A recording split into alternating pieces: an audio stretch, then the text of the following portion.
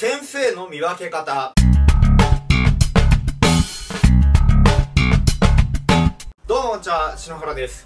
今回は、いい先生と良くない先生の見分け方、どう見極めるのかという話をしたいと思います。前回の動画では、いい先生と良くない先生がいるんだっていう話をしました。で、いい先生っていうのはもう高い志を持って先生になっている。ただ良くない先生っていうのは、自分の生活の安定のためだけに先生になってる。で、こういう人に教わったら不幸だから自分で見極める方法っていうのは分かっといた方がいいよねということを話しました。じゃあその見極め方なんですけど、たった一つ、これだけ考えて見極めてくれたら嬉しいです。何かっていうと、自分で勉強してるかどうかなんですね。先生が勉強している先生っていうのはいい先生です。もう判断基準これだけと言ってもいいかもしれませんね。自分で勉強している先生っていうのはすべからくいい先生だと思います。というか勉強してない先生って信用できないでしょ。だって先生って勉強しろって生徒に言うじゃないですか。生徒に勉強しろって言っといて自分が勉強しないってどうなんて思いますよね。まあ教育っていうのはね人類始まって以来ずっとやってることです。で今のところこれが答えっていうのは見つかってないんですね。だから研究するべきところっていっぱいあるはずなんです。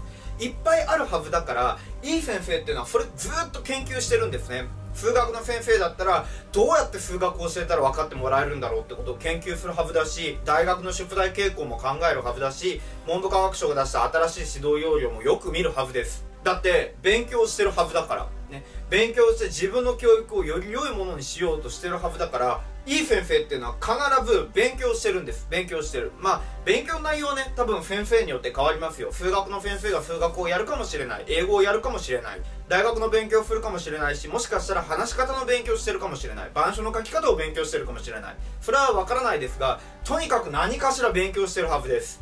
ところが良くない先生って勉強してないんですよ。ずっと勉強してないんですね。勉強せずにまあなんとなくこれでいいだろうっていう合格点ギリギリの授業を20年30年やって定年迎えるみたいな人生を送るんですよ。良くない先生っていうのがね。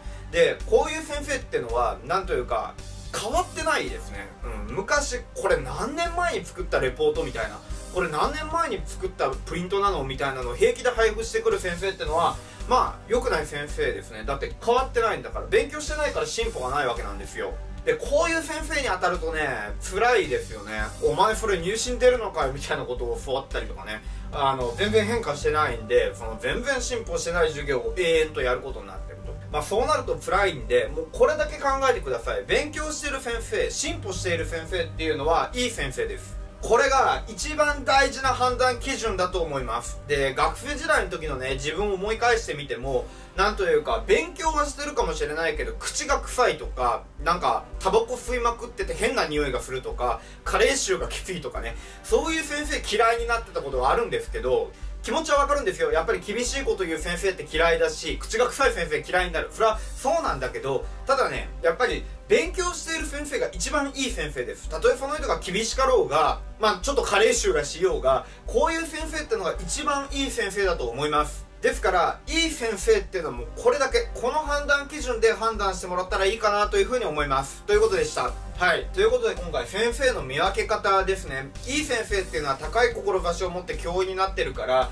自分で教育について一生懸命勉強しているんだっていうことでした。で、良くない先生っていうのは自分の生活の安定のためなんで変化を嫌うんですね。変化を嫌って全然進歩しない、変化しない。だから良くない先生のままで終わるということでした。ぜひ学校の先生もこういう目で見てみてください。ということで今回の動画はこれで以上です。ご視聴ありがとうございました。